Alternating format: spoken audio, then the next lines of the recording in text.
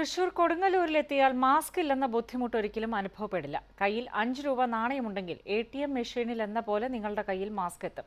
പ്രദേശത്തെ നാല് യുവാക്കളാണ് ഈ യന്ത്രത്തിന് രൂപം നൽകിയത്. കാലത്തിനനുസരിച്ച കണ്ടെത്തലുകളുമായി യുവാക്കൾ എത്തുന്നു എന്നുള്ളതാണ് ഏറ്റവും സന്തോഷകരമായ കാര്യം. കൊടുങ്ങല്ലൂർ നഗരസഭയ്ക്ക് മുന്നിലാണ് ഞാനിപ്പോൾ ഉള്ളത്. ഈ മെഷീൻ ബിടെക് പൂർത്തിയാക്കിയ നാല് യുവാക്കൾ ചേർന്ന് നിർമ്മിച്ചതാണ്.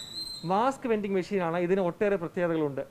അഞ്ച് രൂപയുടെ കോയിനിലാണ് കാര്യം. അഞ്ച് രൂപയുടെ കോയിൻ ഇട്ടാൽ ഇതിലൂടെ ഒരു മാസ്ക് ലഭിക്കും.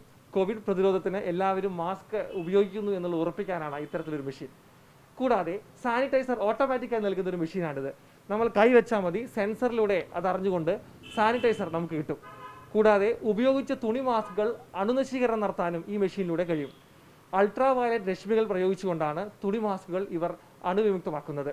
ഇതൊന്നും കൂടാതെ ഉപയോഗിച്ച മാസ്കുകൾ കളയാനാണ് ഉദ്ദേശിക്കുന്നതെങ്കിൽ അത് കളയാനുള്ള ഒരു ട്രേയും ഈ മെഷീനകത്തുണ്ട്. മൊത്തത്തിൽ കോവിഡ് പ്രതിരോധവുമായി ബന്ധപ്പെട്ട എല്ലാ കാര്യങ്ങളും ഈ ഒരു മെഷീനിലൂടെ സാധിക്കും എന്നാണ് ഇത് നിർമ്മിച്ച നാല് യുവാക്കൾ പറയുന്നത്.